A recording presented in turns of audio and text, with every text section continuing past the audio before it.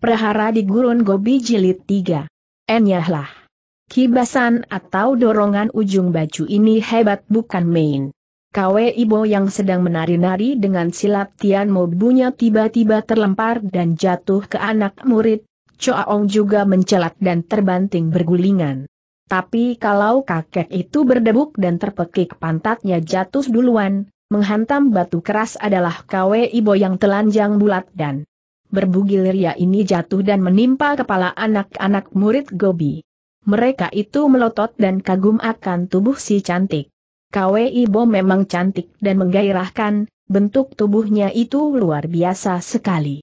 Bisa kencing berdiri kaum laki-laki kalau melihat ini.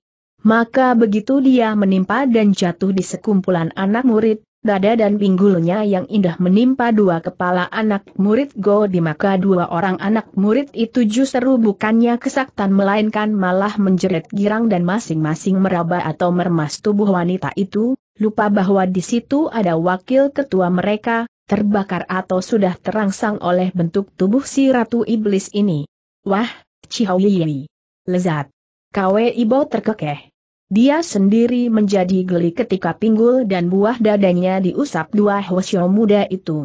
Pekik yang semula ada sekonyong-konyong berubah menjadi tawa genit, dua hwasyo itu sudah menerima dan meremas-remas tubuhnya. Tapi begitu dia berdiri dan dua lelaki itu berebut menyambar tubuhnya lagi, ingin meremas dan melampiaskan birahi yang sudah membakar sekonyong-konyong wanita ini bergerak dan cambuknya melecut ke kiri kanan. Terima kasih, Hai plak-plak L2 Hwasyo itu menjerit. Mereka roboh dan tiba-tiba putus lehernya. Rambut KW Ibo telah membabat dan tiba-tiba setajam gunting, melecut dan menyabet dua leher Hwasyo muda itu sampai mereka terbanting.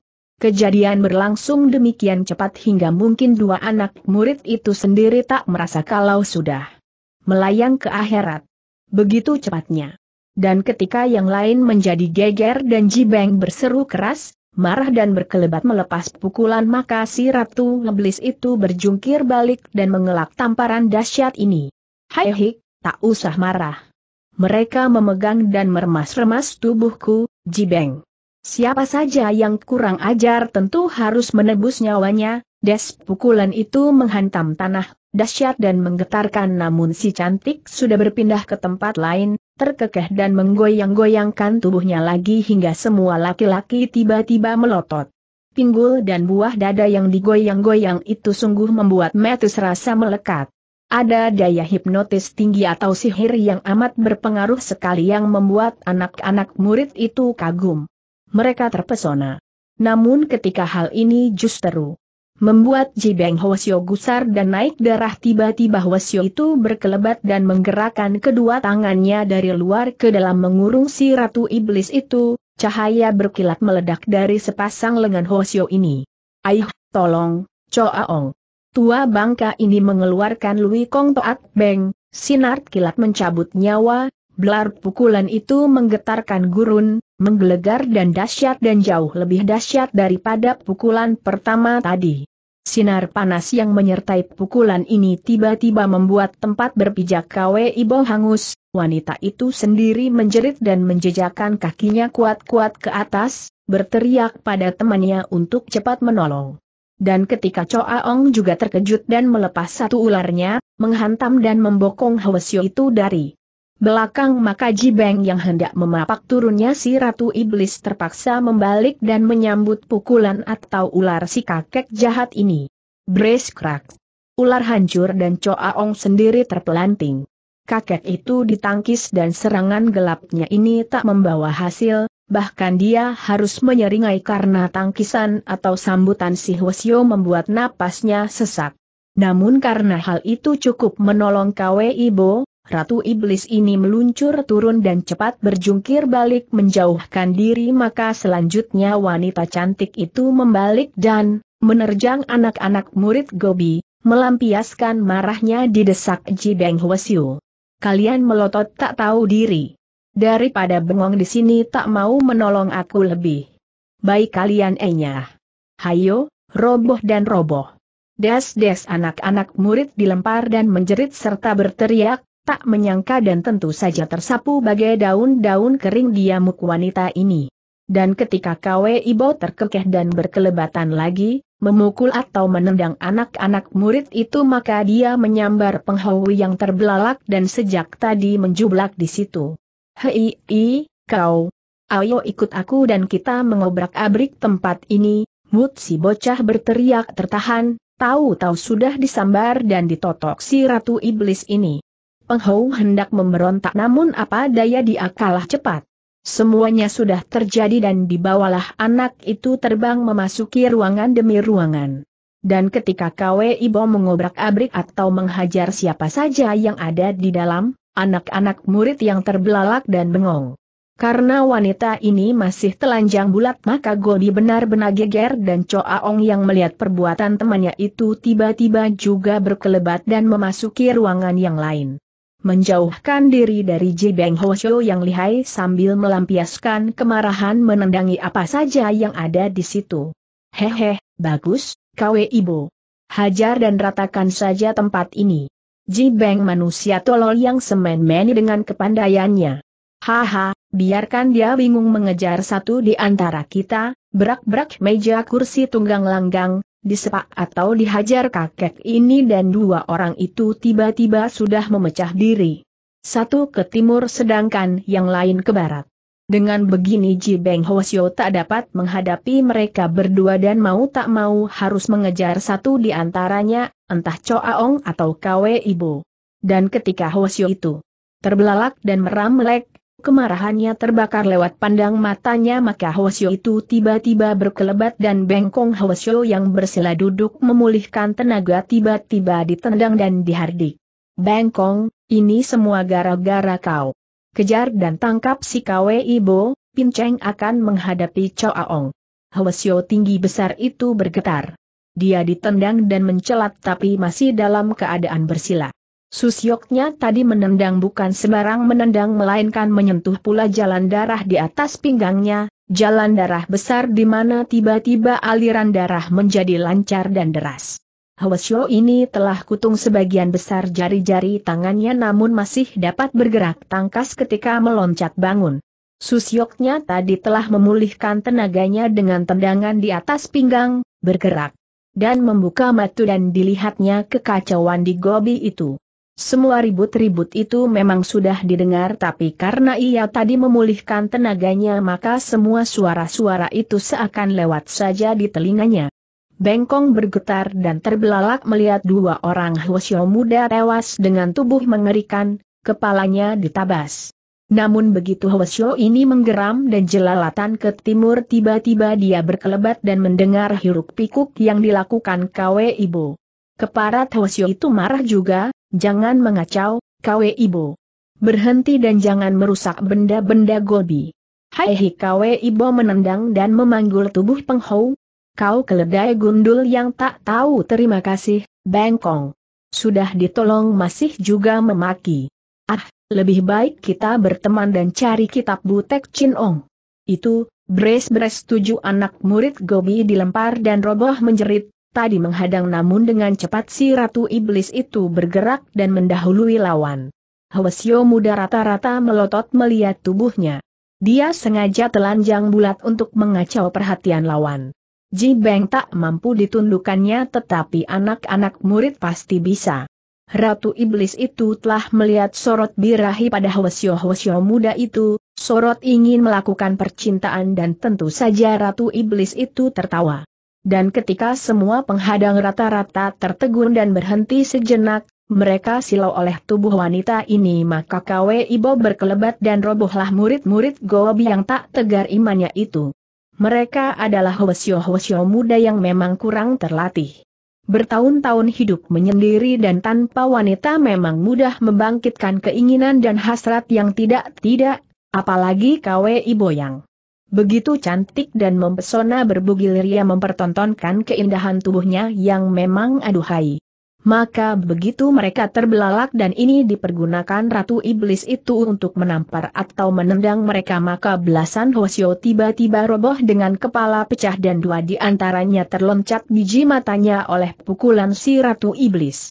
Entah oleh pukulan itu atau karena memang sebelumnya sudah terlalu melotot. Keparat Bengkong Hwasyo tak tahan lagi, mengejar namur lawan menyelinap masuk keluar ruangan. Berhenti, Kwe Ibo. Berhenti atau pinceng akan membunuhmu.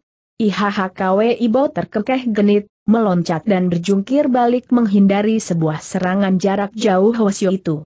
Kau terlalu galak, Bengkong. Tapi kalau kau ingin main-main denganku boleh saja. Mari, mendekat Dandi. Sini kita bertanding dan Ratu Iblis yang bergerak dan memutar tubuhnya tiba-tiba berhenti dan tidak melarikan diri lagi. Pukulan si Hwasyo sudah meledak di sampingnya dan kini Hwasyo itu berkelebat mengejar. Bengkong langsung melepas pukulan lagi ketika wanita itu membalik. Namun begitu pandang matanya silau oleh bagian-bagian tertentu dari si cantik itu, KWI Bot terkekeh, maka Hosyo ini terkesima dan pukulannya merambat setengah jalan. Des! Bangkong Hosyo terpelanting. Hosyo itu kaget dan berteriak keras dan Kwe Ibot tiba-tiba menyerangnya. Wanita cantik itu terkekeh dan rambut di atas kepalanya yang harum dan indah tiba-tiba saja melecut dan membalas.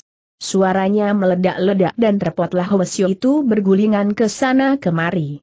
Dan karena Lawan bertelanjang bulat sementara dia masih terguncang oleh bagian-bagian tertentu dari tubuh si Ratu Iblis itu maka dua lecutan rambut mengenai pipinya dan bengkong Hwasyo seketika mengeluh. Prat-prat. Hwasyo ini terhuyung-huyung. Anak-anak murid tiba-tiba berdatangan lagi dan berteriaklah Hwasyo itu menyerang lawan. Dia kesakitan dan karena itu bangkit kemarahannya. Tapi ketika lawan meliuk dan menari-nari indah, Tian Mobu atau tarian hantu langit dikeluarkan wanita ini maka semua bengong karena kagum akan gerak indah yang amat memikat itu. Prat-prat Bengkong Hwasyo mengeluh lagi. Untuk kedua kalinya dia menerima hajaran, terpelanting dan jatuh lagi namun perasaannya sudah tidak keruan lagi. Bengkong Hwasi adalah tokoh yang lihai dan karena itu empat kali lecutan rambut masih juga dapat membuatnya bangun, padahal kalau murid lain pasti tewas dan tinggal nama. Namun karena dia memiliki beberapa sifat yang kurang baik dan satu di antaranya adalah suka mengintip atau mengerling wanita-wanita cantik, hal yang belum diketahui tetua Gobi maka begitu sekarang melihat kepolosan tubuh lawannya ini Hwasyo itu panas dingin dan meremang. Bangkong Hwasyo terguncang dan karena itu berkali-kali dia mendesis ditahan. Kalau saja yang dihadapi adalah Choa Ong dan bukan wanita ini tentu dia dapat melakukan perlawanan sengit. Tapi karena yang dihadapi adalah Kwe Ibo dan Ratu Iblis ini terkekeh-kekeh mempergunakan keindahan tubuhnya, murid-murid yang lain juga bengong dan melotot oleh daya pikatnya ini maka bing. Kong Hwasyo mengeluh panjang pendek ketika dihajar jatuh bangun oleh lawannya ini. Kwe Ibu diam-diam kaget dan penasaran juga bahwa lawan yang sudah terhuyung-huyung ini mampu juga bertahan, jatuh bangun dan jatuh bangun lagi. Maka ketika dia tertawa nyaring dan mendongkol oleh kekuatan lawannya, murid Jileng Hwasyo ini memang patut dikagumi mendadak wanita itu berkelebat mengelilingi lawan dan tiba-tiba rambutnya berputaran cepat melilit leher si Hwasyo. Hai hik, kuat dan bandel. Baiklah, kalau tak mau diajak baik-baik berkawan denganku boleh kau roboh, Hwasyo tengik. Rasakan ini dan sekarang kau tak dapat bangun lagi, RRTT rambut tiba-tiba membelit dan melilit, cepat dan luar biasa karena Hwasyo itu baru saja bangkit berdiri. Bangkong masih terhuyung dan kepalanya pun pening, bukan semata oleh pukulan-pukulan lawan tetapi juga karena pemandangan itu tubuh Kwe Ibo memang terlalu penuh pesona. Maka begitu rambut membelit dan Hwasyo ini tercekik tiba-tiba kaki wanita itu menjejak dan bengkong Hwasyo mengeluarkan teriakan tertahan. Audah! Kwe Ibo terkekeh. Jejakan ke dada lawannya itu membuat tarikan semakin kuat. Bengkong Hwasyo melotot karena napasnya terhenti, rambut melilit dan tajam mengiris kulit. Namun karena dia adalah murid utama dan Sin Kang cepat dikerahkan naik maka begitu melotot tiba-tiba tangannya pun bergerak menarik rambut itu, membuat lawan tertarik ke depan dan siap beradu kepala. Ayah KWI botak menyangka. Tindakan Bengkong Hwasyo memang jitu dan tepat. Sekali. Hwasyo itu hendak mengadu jiwa, dengan jalan mengadu kepala. Tapi karena wanita ini tentu saja tak mau dan Kwe Ibo menggerakkan tangan yang lain maka serudukan atau tumbukan kepala Hwasyo itu diterima telapak tangannya. Plak! Bengkong Hwasyo mengeluh. Hwasyo ini roboh dan terguling pingsan. Di ubun-ubunnya terdapat cap lima jari yang merah membara. Dan ketika Hwasyo itu tak bergerak lagi dan Kwe Ibo melepaskan lilitan rambutnya maka wanita itu berkelebat dan menggertak murid-murid lain yang akan maju ragu-ragu. Hayo, siapa mau mampus? Boleh coba dan mari menerima tamparanku. Murid-murid mundur. Mereka gentar dan akhirnya membiarkan saja wanita itu terkekeh berkelebat ke ruangan lain. Tapi ketika beberapa di antaranya membuntuti dari jauh dan tetap mengganggu wanita itu maka Kwe Ibo melepaskan pukulan jarak jauhnya dan memasuki ruangan-ruangan lain untuk mencari kitab Butek Chin Ong, sampai akhirnya tiba di belakang dan tertariklah wanita itu akan sebuah ruangan gelap di mana semua murid yang mengejar tiba-tiba berhenti.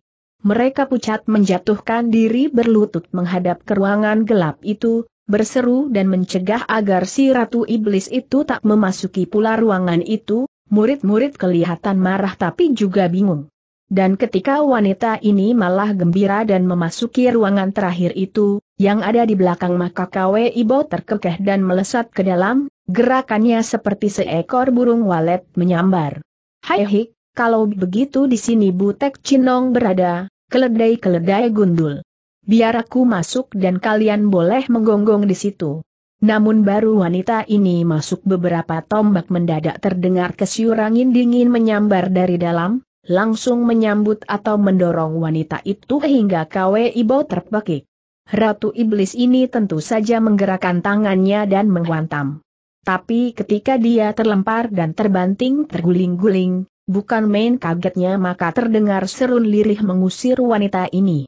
Omi Tohut, enyahlah, kawe ibu. Tempat ini tak boleh dimasuki siapa pun. Keparat wanita itu memekik, segera mengenal suara itu. Kau kiranya, Jileng Hwasyu. Ah, kau jahanam dan aku akan masuk dan kawe ibu yang meloncat bangun. Dan berjungkir balik menerjang tiba-tiba kembali masuk dan nekat memenuhi keinginannya. Namun ketika kembali berkesyur angin dingin itu dan wanita ini menjerit lagi-lagi si Ratu Iblis terbanting. Aduh, keparat kau, Jileng. Tapi aku akan tetap masuk. Tak boleh, suara itu lirih dan lemah. Kembali dan tinggalkan tempat ini, kawe ibu. Wanita macam kau tak boleh mengotori tempat ini, Des dan Kwe Ibo yang kembali terlempar dan mencelat terguling-guling akhirnya tujuh kali didorong dan diterbangkan keluar. Wanita itu melengking-lengking dan sudah mencoba untuk membalas atau menghindar. Bahkan, ketika dorongan terakhir mendorongnya demikian kuat tiba-tiba dia menjejakkan kakinya dan berusaha lewat atas, mengira pukulan itu akan meluncur di bawah namun tak. Tahunya dari segala penjuru angin dorongan itu menyambar. Dia membentur tembok tenaga yang amat dahsyatnya dan tiba-tiba sebuah totokan jarak jauh bercuit mengenai lututnya. Dan ketika dia terbanting dan menjerit kesakitan, lutut serasa hancur maka wanita itu pucat dan gentar, apa boleh buat bergulingan menjauh keluar dari kamar atau tempat gelap itu. Jileng, kau tua bangka keparat. Tak tahu malu terhadap wanita. Hektometer helaan napas panjang itu lembut dan sareh. Pinceng tak ada urusan denganmu, kawe ibu. Dan kau pun tahu tak boleh ada wanita yang masuk ke sini. Pergilah, atau kakimu nanti lumpuh semua. Wanita ini melengking-lengking. Akhirnya dia meloncat bangun dan terpincang menyambar. Anak-anak murid yang berlutut. Jalan keluar memang dipenuhi hwasyo-hwasyo muda itu. Dan ketika Kwe Ibo melayang dan mengetuk kepala anak-anak murid itu, yang tak berani berdiri mendengar adanya suara di kamar gelap itu maka Kwe Ibo tiba-tiba menjerit karena entah bagaimana kepala anak-anak murid yang diketuknya untuk dibunuh itu tiba-tiba keras dan membuat jarinya kesakitan, mental dan berkeratak.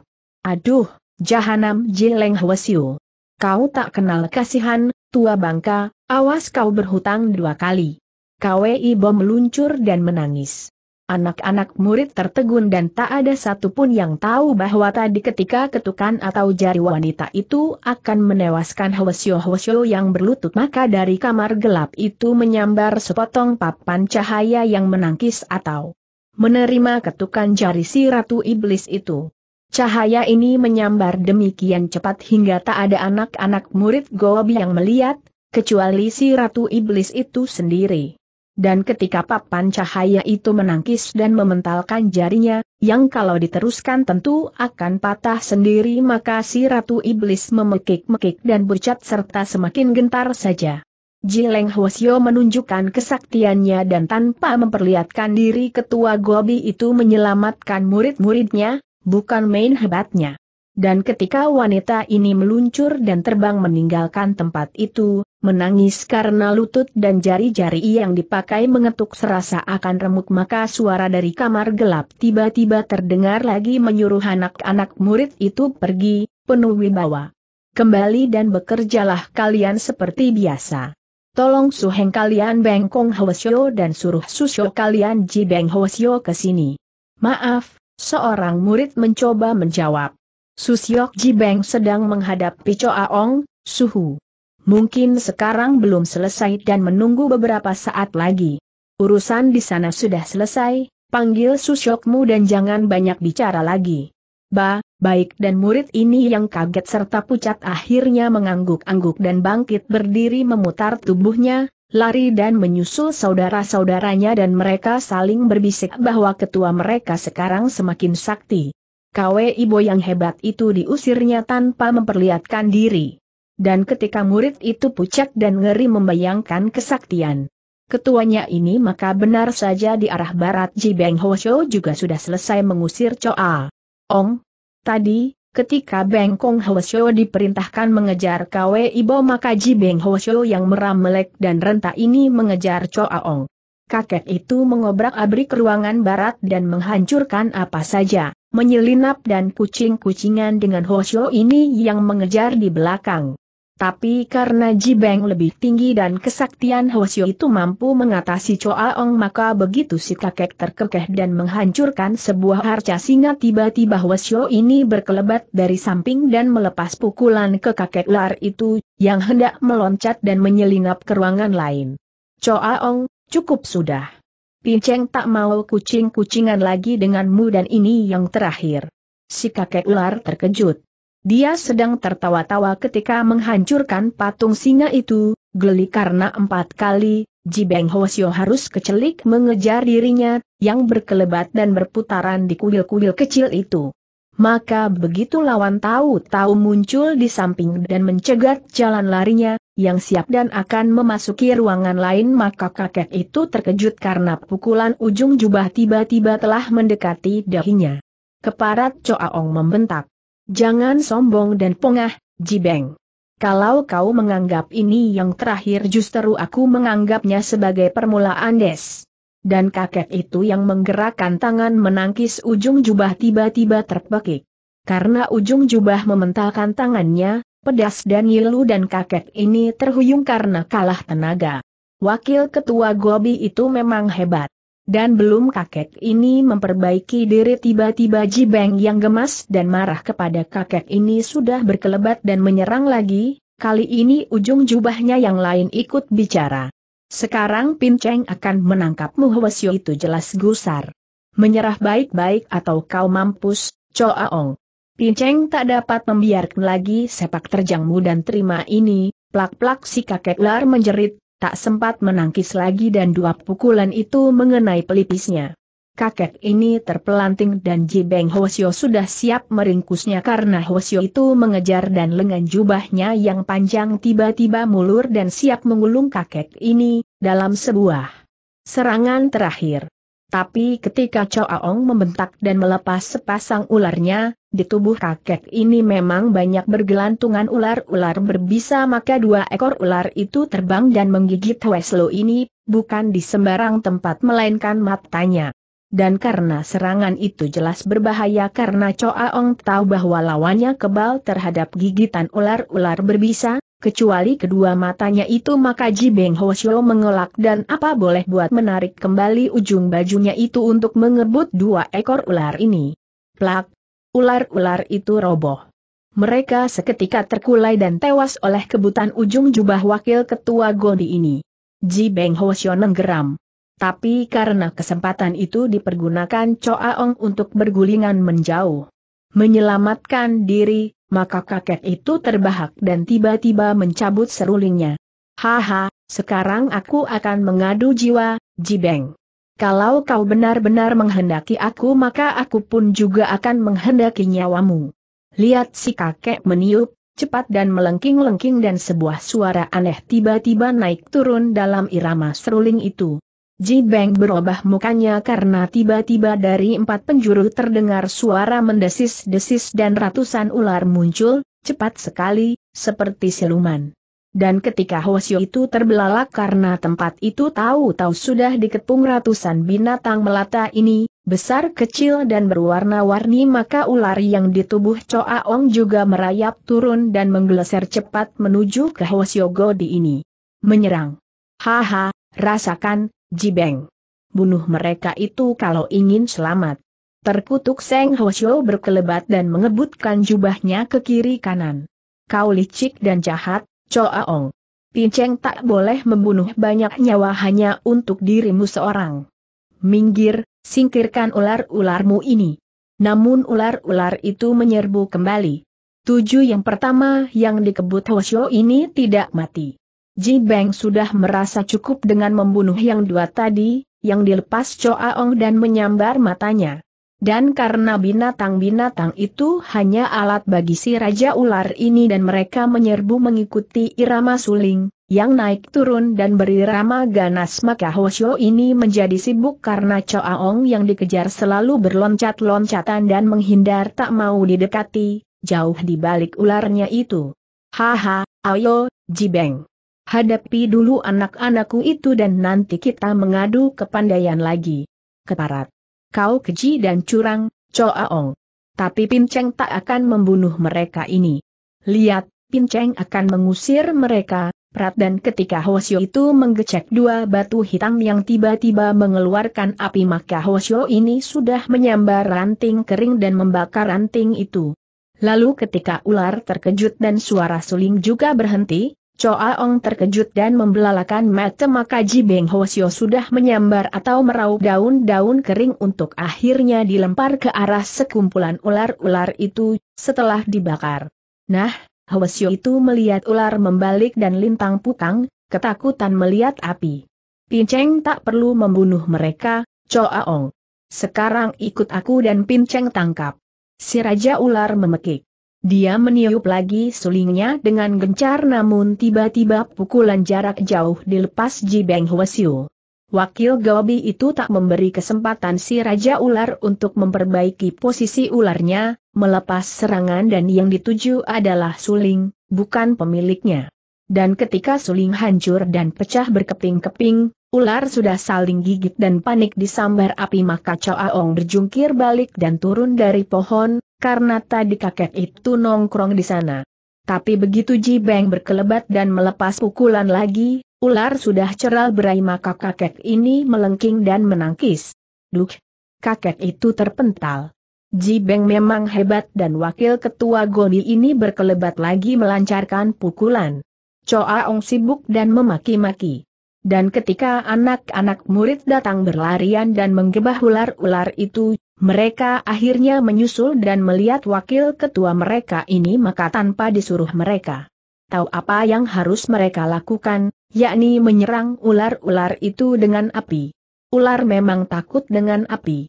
Dan ketika Choa Ong terpental dan selalu kalah kuat dengan Hosyo Godi ini, memekik dan memak-maki tiba-tiba kakek itu melepas ular besar yang melilit di lehernya untuk kemudian diputar dan menghantam Jibeng Hwasyo, yang sudah mendesaknya sedemikian hebat.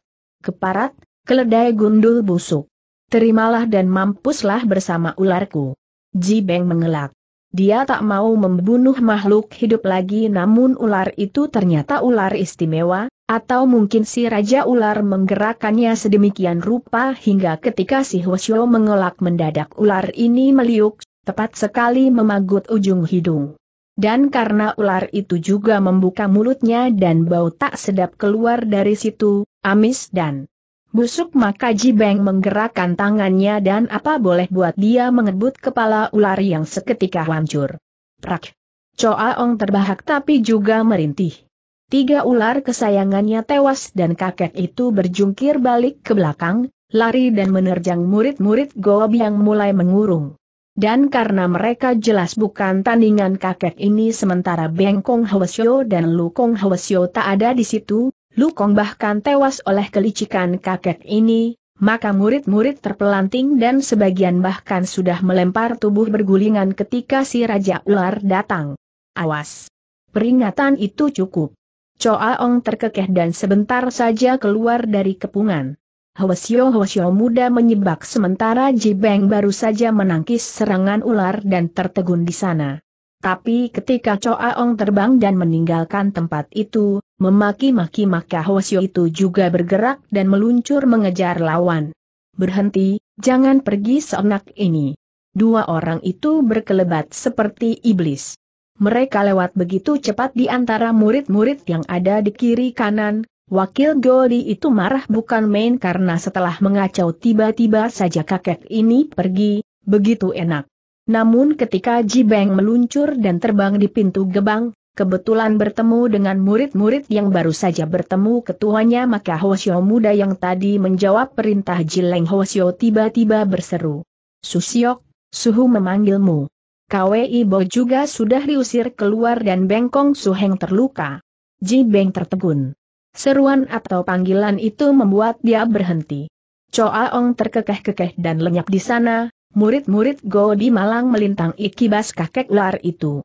Dan ketika Hosyo ini mendesah dan kecewa, ketua Gobi memanggilnya maka tiba-tiba kakek itu mencabut sebatang rumput dan melemparkannya ke arah Choa Ong yang sudah hampir lenyap di bawah batu karang. Choaong, kau beruntung. Pinceng menyesal. Tapi pinceng titip ini untukmu. Si Raja Wiyar menjerit. Cepat melebihi anak panah melesat sekonyong-konyong sebatang rumput itu menyambar lawan. Choaong tak menyangka dan terkekeh-kekeh karena Jibeng. Berhenti di pintu gebang, dipanggil ketuanya. Maka begitu lengah dan rumput menancap bagai anak panah, tembus dan dalam tiba-tiba kakek itu terpelanting namun Choa Ong sudah meloncat bangun dan melarikan diri lagi. Kakek itu memaki dan melotot sejenak untuk akhirnya lenyap meninggalkan lawannya. Ji Beng Hosio tampak termangu-mangu di pintu gerbang. Dan ketika Raja Ular maupun si Ratu Iblis tak ada lagi, murid-murid terpaku namun segera menolong yang luka atau tewas maka Ji Beng berkelebat dan murung menghadap suhengnya. Hari itu Gobi mendapat celaka dan semua orang bersedih.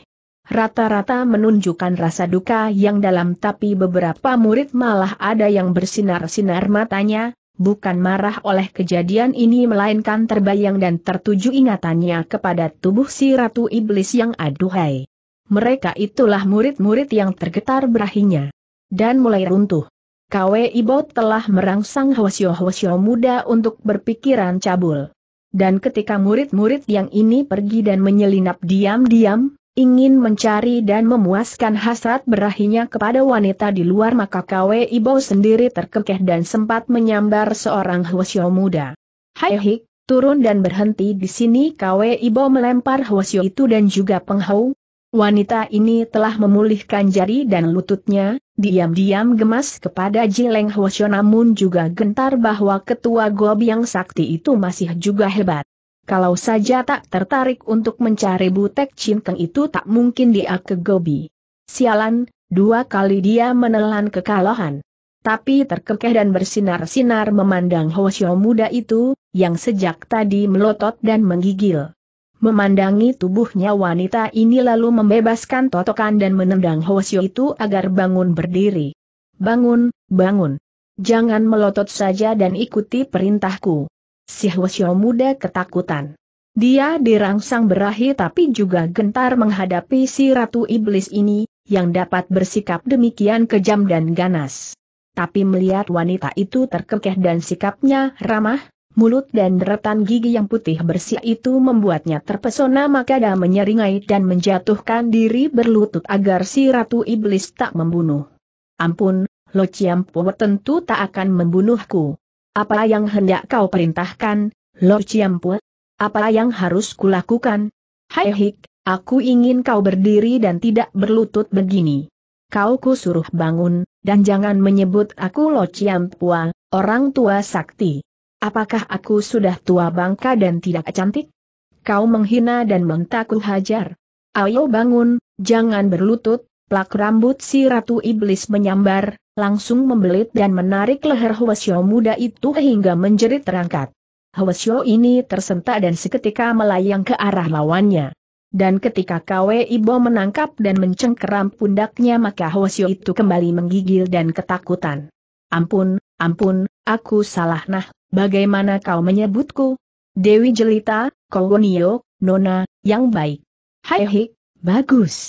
Tapi aku lebih senang ipanggil Kwe Ibo, biang ngeblis.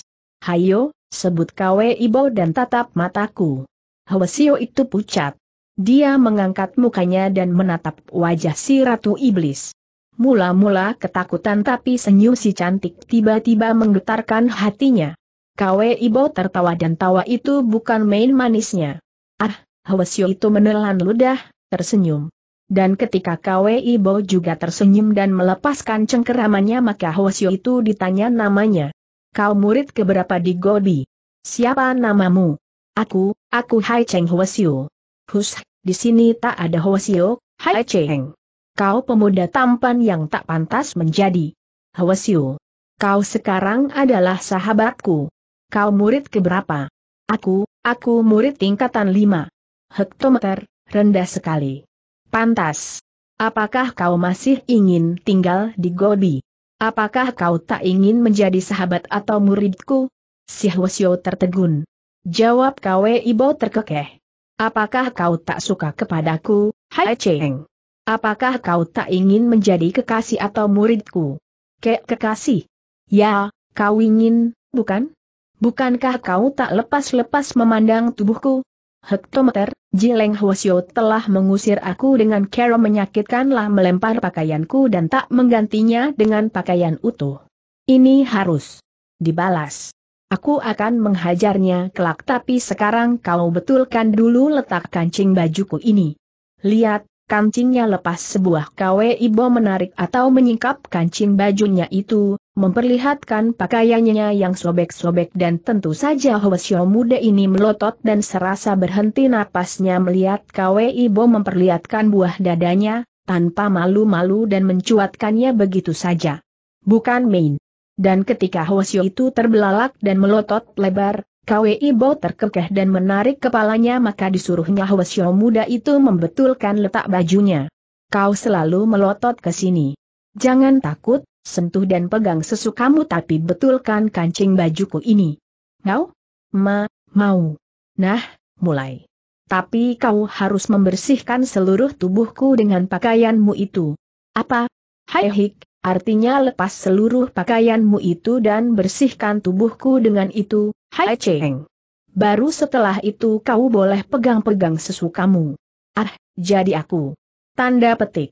Ya si Ratu Iblis memotong, terkekeh, kau boleh bercinta denganku, Hai Cheng. Tapi kau harus membersihkan dulu semua tubuhku. Nah, mulai dan lepas pakaianmu, buang jubah Hwasyo itu. Hai Cheng melonjak. Bagai harimau mendapat kelinci gemuk tiba-tiba saja dia mendengus dan berjingkrak melepas pakaiannya. Kwe ibu. Meraih lehernya dan memberi sebuah ciuman nikmat, sekejap saja dan sudah dilepas kembali namun si Hwasyo sudah merasa diterbangkan. Dia mabok dan tertawa gembira. Dan karena Hwasyo ini memang murid Gob yang lemah imannya, tergiur dan sudah tersentak oleh janji yang melambungkan sukma itu maka begitu cuman mendarat dan dilepas lagi tiba-tiba dia sudah melepas seluruh pakaiannya dan menubruk lawannya dengan sikap tak sabar. Dia tahu bahwa KWI main-main dengan kancing bajunya itu, bukan disuruh membetulkan melainkan justru disuruh melepaskan. hal yang membuat Hwasyo muda ini gembira. Tapi begitu dia menubruk dan menerkam wanita ini, gejolak berahinya membakar sampai ke ubun-ubun kepala tiba-tiba terdengar jeritan ngeri ketika tangan KW Ibu bergerak ke bawah dan menerkam anggota rahasia murid Godi itu, memetot atau menariknya copot. Hai hik, kau muda dan kuat, hai Cheng. Tentu kejantananmu akan membuatku semakin awet muda, kerot sesuatu terlepas dari tubuh Hwasyo muda itu, disusul jatuh atau berdebuknya murid Godi ini. Dan ketika Kwe Ibo terkekeh dan menggerakkan jarinya yang berlepotan darah, menelan sesuatu seperti harimau rakus menikmati daging segar maka penghau yang terbelalak dan tertotok urat gagunya tiba-tiba pucat dan roboh pingsan. Anak ini tadi dibebaskan Kwe Ibo namun lutut dan urat gagunya ditotok. Dia dilempar ke sudut dan tentu saja menonton semua kejadian itu. Kalau saja penghou dapat mengeluarkan suara tentu dia berteriak-teriak dan memaki Hai Cheng Hwasyo itu. Hwasyo muda ini adalah satu di antara tukang kebun, murid. Tingkatan lima dan penghou sendiri sejak dulu sudah kurang suka. Hwasyo ini suka menjitak dan mengganggunya. Tapi begitu Kwe Ibo membunuhnya dan penghou melihat apa yang dilakukan si Ratu Iblis ini, memetot bagian tubuh Hai Cheng Hwasyo dan menelannya sebagai jamu kuat, hal yang membuat anak itu hampir muntah-muntah dan tak tahan maka penghou akhirnya roboh dan jijik serta muak oleh keganasan atau kekejian si Ratu Iblis ini. Kwe Ibo terkekeh dan meneruskan mengunyah makanan itu sampai habis, tak peduli kepada penghou namun akhirnya membersihkan bibir dengan jilatan-jilatan ujung lidahnya mulut dan lidah wanita ini bergerak-gerak seperti mulut atau lidah ular. Namun karena mulut dan lidah wanita itu berlepotan darah, padahal dia mengunyak dan membersihkan itu sambil tertawa-tawa maka wanita ini terasa sungguh lebih menyeramkan daripada ular. Kwe Ibo benar-benar patut dijuluki biang iblis karena dia memang benar-benar iblis. Iblis wanita meskipun dia cantik jelita. Dan ketika wanita itu selesai membersihkan mulutnya dan mayat He Cheng Hwasyo terkapar di situ, tak diperdulikan, mendadak terdengar tawa dan tepuk tangan seorang anak. Bagus, bagus. Kau telah menunjukkan kehebatanmu, Lo Chiampue. Dan kau tentu sedang melatih ilmumu Bin Xiao KWI, mempercantik diri. KWI Bo terkejut. Dia menoleh dan seketika menengok ke atas karena tahu-tahu Cikoan, anak itu, nongkrong dan bertepuk tangan di atas batu karang. Batu itu tinggi dan wanita ini tertegun bagaimana si anak dapat duduk di situ, tanpa bantuan orang lain. Tapi begitu sadar dan terkekeh mencelat mendadak ratu. Iblis ini menyambar dan menarik anak laki-laki itu. Hai hei, kau, Cikoan. Ih, mengejutkan saja tapi aku kagum kepadamu. Namun Ratu Iblis tersentak. Cikoan yang disambar dan diraihnya mendadak lenyap ke bawah, seperti ditarik atau dihentak seseorang. Dan ketika wanita itu tiba di atas dan berjungkir balik di sini, mau tak mau berseru marah maka sebuah tangan kurus tahu-tahu menjulur dan mencengkeram buah dadanya, dari balik batu karang itu. Plak des. Si Ratu Iblis terpental meluncur ke bawah. Dia tak menyangka serangan itu tapi sudah menangkisnya dengan pekikan kaget. Seseorang muncul dari balik batu karang itu. Dan terkekeh-kekeh menyerangnya, langsung saja mencengkeram buah dadanya. Tapi karena dia mementalkan serangan itu meskipun diri sendiri juga terlempar dan berjungkir balik maka wanita ini melotot melihat seorang kakek tinggi kurus berkelebat dan berdiri di depannya. Kakek yang seperti batang bambu. Hehe, kau tangkas dan masih mengagumkan, kawe ibu. Dan tubuhmu, HMM. Masih menggiurkan dan penuh pesona. Keparat si Ratu Iblis melengking. Kau kiranya, Tiok Jinmo, hantu bambu. Sungguh membuat kaget dan gusar.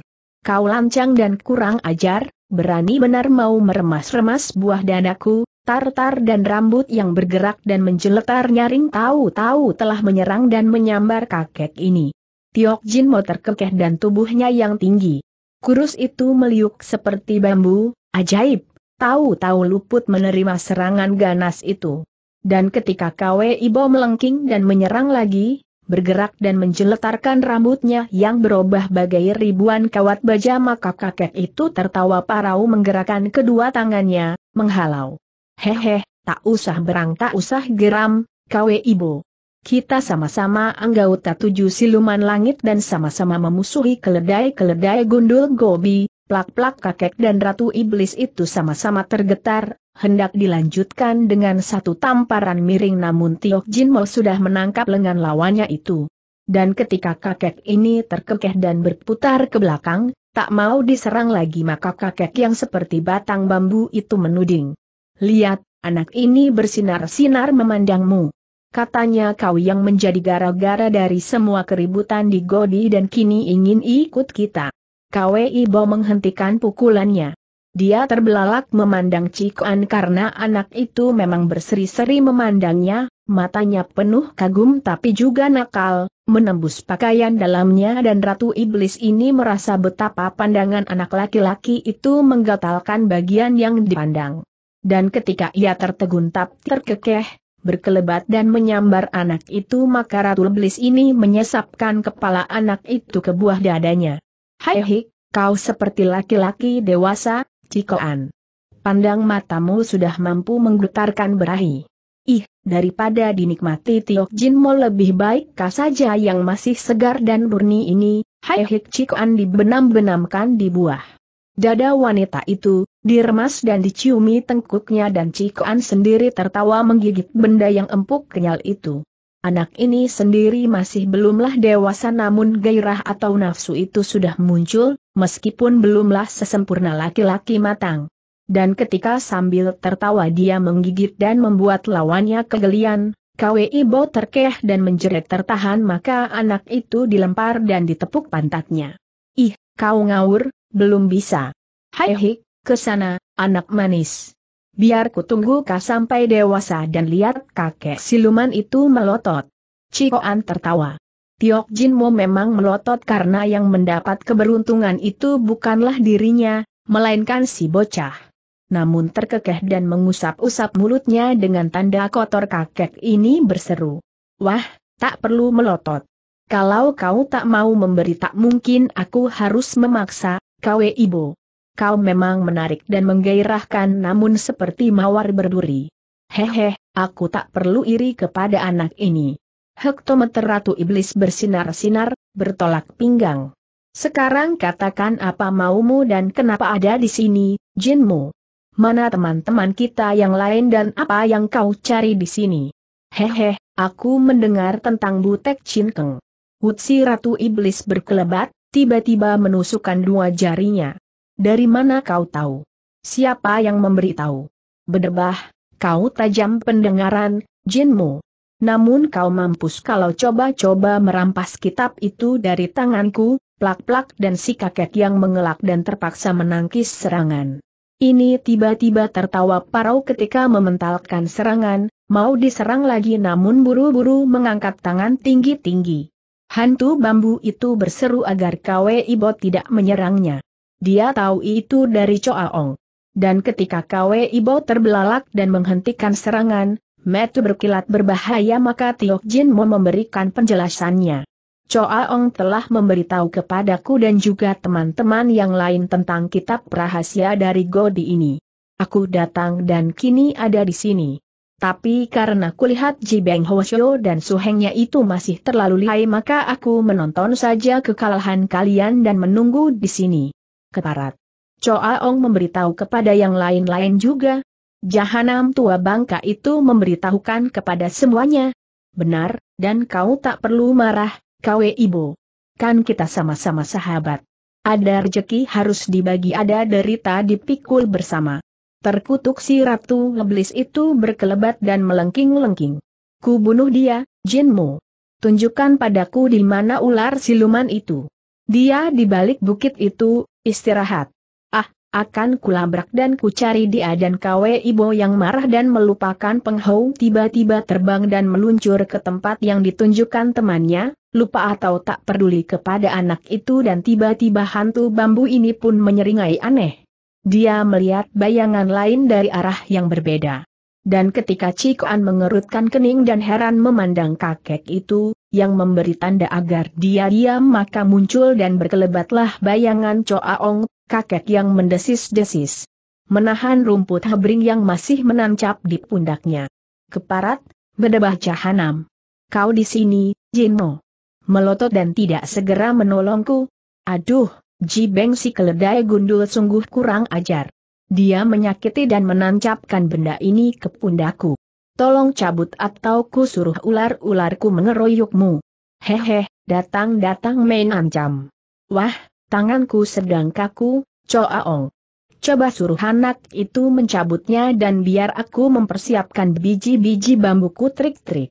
Seperti sulapan atau sihir saja tiba-tiba Tiok Jin mau mengeluarkan puluhan lidi-lidi bambu yang diketrik-ketrikan di antara jari-jarinya, suaranya aneh dan menyakitkan telinga dan cikoan yang terbelalak tiba-tiba tertegun karena dua biji bambu tiba-tiba terloncat dan menyambar pundak Choaong. Kakek itu berkata biarlah cikoan yang mencabutnya tapi bambu atau sepasang lidi bambu itu sekonyong-konyong melejit dan terbang ke pundak si Raja Ular ini. Di situ masih ada sisa rumput yang menancap ke dalam daging, Choaong mencabutnya namun rumput itu patah di tengah jalan. Dan ketika kakek ini terkejut tapi tertawa lebar, Tiok Jin mau menggerakkan sepasang biji bambunya maka bambu itu tiba-tiba menusuk dan menjepit batangan rumput yang menancap di dalam daging ini. Lalu begitu mereka meloncat dan keluar dari pundak yang luka maka biji bambu itu terbang dan menyambar kembali ke arah Tiok Jinmo, sudah menjepit atau membawa sisa rumput bekas lontaran Ji Beng Hwasyo. Haha, mereka mau ku perintah, Choaong. Syukur dan terima kasih. Tapi kau harus membalas budi baikku. Choaong tertawa bergelak. Dia tahu tak aneh dari rekan-rekannya ini, merogoh kantung baju dan mengeluarkan sesuatu. Dan ketika sesuatu itu dilemparkan kepada Jin Mo dan hantu bambu itu menangkapnya maka seekor ular warna merah digigit dan dikunyah kakek itu, mentah-mentah. Haha, kau doyan ular segar, Jin Mo. Biarlah ku berikan angtok aku kepadamu. Tentu kau akan girang karena kebal racun. HMM, Krias-krias Jin mau mengunyah dan meramelek menikmati ular merah itu, tampak nikmat. Kau betul, Choaong. Aku ingin semakin kebal racun meskipun tak takuti segala ular-ularmu itu. Haha, kau memang sombong. Kalau kau ingin kebal racun seperti aku maka setiap hari kau harus sarapan ular-ular cobra, dan kau tak mungkin dapat menikmati itu. Karena kau tak pandai memanggil ular. Benar, tapi kalau setiap hari ada kejadian begini dan kau menerima pelajaran dari Ji Beng Hosio tentu perutku kenyang. Hehe, terima kasih, Choaong. Tapi anak ini mengilar melihat makananku. Biar ku beri dia sedikit dan tak usah pelit membagi-bagi rejeki, Krek Jin mau menggigit putus sebagian leher ular, tertawa dan menyerahkannya kepada Cikoan dan anak itu terkejut karena tiba-tiba disodorila terbelalak dan memang mengamati kakek itu menikmati ular mentah, rasanya kok seperti enak. Maka begitu Isodori dan Cikoan terkejut, Jin Mo tertawa dan tahu-tahu menjejalkan ular itu ke mulutnya maka anak ini muntah-muntah dan memaki, kalang kabut. Keparat, tua bangka syalan. Aku tak sudi menerima makananmu, Jinmu. Hayo makan sendiri atau aku menghajarmu. Haha, anak yang pemberani Jinmo tertawa aneh, bergerak dan sudah menangkap anak ini. Semakin kurang ajar semakin aku suka, bocah. Coba telan lagi dan yang ini tentu enak Cikoan tiba-tiba berteriak, meronta namun ditotok dan mendadak sepotong hati yang berlepotan darah dijejalkan ke mulutnya. Dan ketika Jin mau mengurut dan menekan bawah rahangnya maka anak itu jatuh terduduk dan ular mentah itu sudah memasuki perutnya. Huak Cikuan muntah-muntah, marah bukan main. Meloncat bangun. Ku bunuh kau, Jinmu. Kurajang hatimu nanti. Terkutuk, berdebah dan si anak yang menerjang dan membabi buta menyerang kakek itu akhirnya. Menjadi permainan Jinmo yang berloncatan dan mengelak ke sana kemari kakek itu berkelebat dan tiba-tiba malah lenyap, Cikoan tertegun. Namun ketika dia menoleh ke kanan kiri tiba-tiba belakang lututnya diketuk orang dan ia pun roboh. itulah perbuatan Jin Mo dan anak itu naik pitam, membalik dan menerjang lawan dan jadilah Jin Mo diserang habis-habisan. Dan ketika kakek itu terkekeh-kekeh dan menjewer atau menjentik telinga anak ini, Cikoan kesakitan dan pedas kulitnya maka terdengar seruan dan bentakan dari kanan. Bagus, serang dan bunuh mereka ini, Cikoan. Ku bantu kau menghajar Choaong dan Penghou yang sadar dan siuman membuka mata, terbelalak dan tertegun sejenak melihat itu tiba-tiba meloncat bangun dan menerjang si Raja Ular. Penghou tak tahu siapa kakek. Yang satunya itu namun melihat temannya di situ tiba-tiba ia besar hati dan menerjang kakek ini. Choaong terkejut tapi mendengus pendek, rasa tak senangnya tiba-tiba muncul karena Penghou tak sesimpatik Cikoan. Anak ini selalu memusuhi dirinya dan karena dia telah membunuh Lu Kong Hwasyo maka tentu saja anak itu lebih benci kepadanya daripada yang lain, Kwe Ibo umpamanya. Maka begitu mengelak dan menggerakkan kakinya tiba-tiba kakek ini menendang Penghou sampai mencelat. Kau anak setan, pergilah. Penghou menjerit. Ia terbanting dan berteriak tapi menerjang lagi. Kakek itu memang amat dibencinya.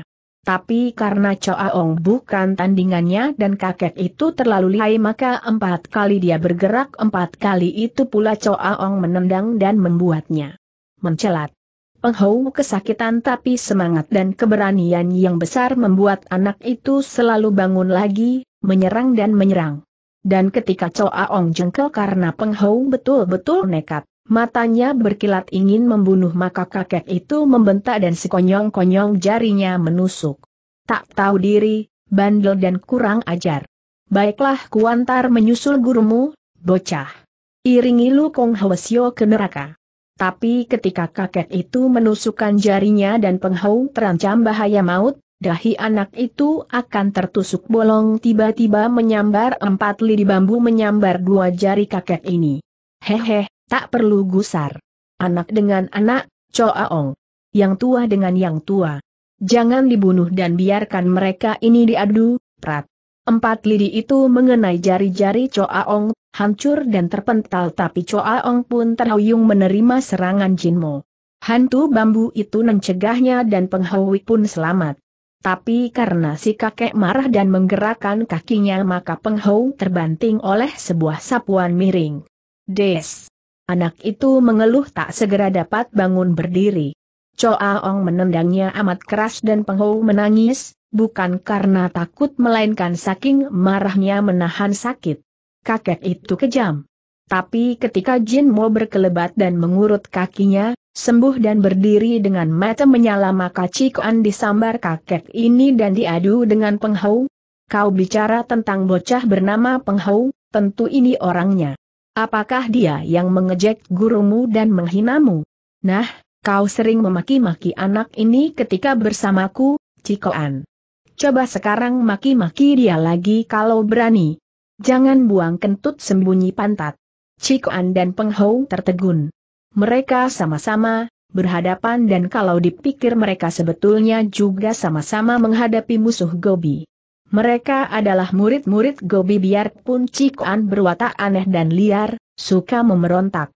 Tapi ketika menyeringai dan ditantang kakek itu, Jin mau memanaskan telinganya maka Cikoan yang tentu saja tak takut kepada penghau sudah berkacak pinggang dan mengejek. Hektometer, siapa takut? Aku memang sering memaki-makinya, Jin Mo, di belakang atau di depannya. Ini memang penghau, murid Lu Kong Supek yang hampir saja dikalahkan guruku. Kalau saja dia jujur maka dia melihat bahwa kematian gurunya adalah karena kemenangan guruku. Keparat penghau mendulik, membentak, kematian guruku bukan karena gurumu, Cikoan, melainkan oleh kecurangan si Raja Ular ini. Minggir, aku akan melabraknya kembali namun ketika penghau mendorong dan tak mau melayani lawannya, Hatinya terbakar oleh sikap dan perbuatan Choa Ong tiba-tiba Cikoan menjegal dan membantingnya di situ. Nanti dulu. Hormat dan lalui aku baik-baik, penghou. Jangan seperti perampok. Kau sekarang berurusan denganku, bukan dengan Choa Ong. Nah, minta maaf dan hormati aku seperti gurumu, Bluk dan Penghau yang terjegal dan kaget serta marah tiba-tiba. Ditangkap dan sudah diinjak punggungnya. Jin Mo terkekeh-kekeh dan Choa Ong juga tertawa lebar melihat itu. Jin Mo hendak mengadu dua anak ini sebagai tontonan yang menarik. Dan ketika Penghau mengeluh karena injakan itu membuat napasnya sesak, Cikoan berseru agar dia minta ampun tiba-tiba anak ini membalik dan kaki lawan disambar dan begitu Penghou berhasil mencengkeram atau menangkap kaki lawannya itu tiba-tiba Cikoan terguling dan roboh menimpa Penghou. Berdebah, tak tahu malu. Di sini ada musuh-musuh kita yang utama, Cikoan. Tak seharusnya kau menyerang aku dan menghina. Rasakan, aku pun dapat membalas dan dua anak itu yang bergumul dan pukul-memukul akhirnya bergulingan dan menjerit atau memaki. Cikoan menggigit telinga penghau dan penghau pun balas menggigit telinga anak itu. Suasananya jadi ramai, seru. Namun karena Cikoan sudah memiliki dasar-dasar kepandaian silat sementara penghau belum maka begitu Cikoan bergerak dan menggulingkan tubuh ke kiri, kaki menendang selangkangan penghau hingga anak itu terpekik maka Cikoan sudah berada di atas dan menindih lawannya, tangan menelikung dan mengganjal leher penghau dengan lututnya. Rasakan. Kau sombong dan pongah, penghau. Hayo minta ampun atau kau kubunuh. Ahu geha penghau sesak napasnya, pucat. Tak sudi aku minta ampun, cikoan. Kau anak siluman. Bocah iblis. Kau masih juga memaki. Tidak mau minta ampun? Aku tak sudi minta ampun, kau boleh membunuhku, Krek dan cikoan yang memuntir dan menginjak tubuh penghau tiba-tiba membuat anak itu berteriak dan pingsan. Tangan penghau patah dan berkelebatlah Tiok Jin mau menyambar cikoan. Dan ketika anak ini terangkat naik dan terlempar dari tubuh penghau maka kakek itu berseru. Cukup, kau tak boleh membunuh dan cikoan yang mendesis dan pucat bergulingan meloncat bangun, marah memandang kakek ini tiba-tiba menggeram dan menghardik, hal yang membuat hantu bambu itu tercengang. Jin Mo, kau beraninya dengan anak kecil. Hayo tua sama dan lawan si Raja Ular ini. Berdebah, tak tahu malu. Di sini ada musuh-musuh kita yang utama, Cikoan. Tak seharusnya kau menyerang aku dan menghina. Rasakan, aku pun dapat membalas dan dua anak itu yang bergumul dan pukul-memukul akhirnya. Hai hik sebuah bayangan lain berkelebat, Kwe Ibo muncul, Mukanya merah padam, tapi matanya berseri-seri. Kau benar, Cikoan. Tua bangka tua bangka ini memang menyebalkan dan suka mengadu orang saja. Lihat dia menipuku, Choa Ong ternyata ada di sini. Kalau tidak diberi pelajaran tentu dia akan merendahkan orang lain dan kuwakili kau menggebuk pantatnya. Cikoan terkejut. Kwe Ibo bergerak dan tahu-tahu tubuhnya disambar si Ratu Ngeblis ini, berkelebatan dan sudah mengelilingi kakek hantu itu dan rambut KWI Bo menjeletar-jeletar nyaring. Dia sendiri dipondong dan entah bagaimana tiba-tiba kedua tangannya pun bergerak naik turun melakukan tamparan-tamparan ke wajah kakek itu. Dan ketika Jin Mo terkejut dan tentu saja menghindar, serangan Cikoan berhasil. Dihindari namun lecutan atau tamparan rambut tak sempat dielak maka tujuh ledakan mengenai pundak dan lengan kakek ini. Hei hei hantu bambu berkelebatan cepat, mengikuti gerakan si ratu iblis itu. Apa yang kau omongkan, kawe ibu? Siapa mengadu dan mempermainkan orang? Raja ular ini memang ada di sini, muncul seperti setan. Kalau kau tidak percaya silahkan tanya padanya dan hentikan serangan-seranganmu plak-plak. Si kakek hantu menangkis dan marah menggerakkan kedua tangannya ke kiri kanan. Rambut di kepala Ratu Iblis itu berubah menjadi ribuan kawat baja yang kalau kena tentu bisa menimbulkan celaka. Rambut itu telah mampu mencirat dan mencekik putus leher murid-murid Gobi. Bangkong Hwasyo sendiri roboh pingsan oleh cekikan rambut ini. Dan ketika kakek itu menangkis tapi lawan tak menghiraukan teriakannya, KWI Bo terkekeh-kekeh dan naik turun bagai walet menyambar-nyambar maka Jin Mo menjadi marah dan tiba-tiba mengetrikan tujuh biji bambunya yang terbang meloncat-loncat. Baik, kau tak tahu diri.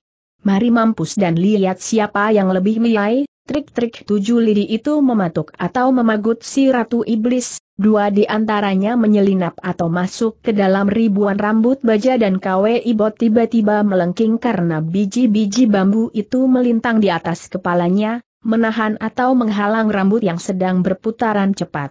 Dan karena ia dalam sikap menyerang sementara dua bambu kecil itu terlilit dan tergubat, tentu saja mengganggu maka rambut wanita ini berodol tapi biji atau lidi bambu itu juga hancur. Kratak hantu bambu terkekeh-kekeh. Dia berhasil menahan desakan lawan namun tiba-tiba Kwe Ibo mengibaskan rambutnya.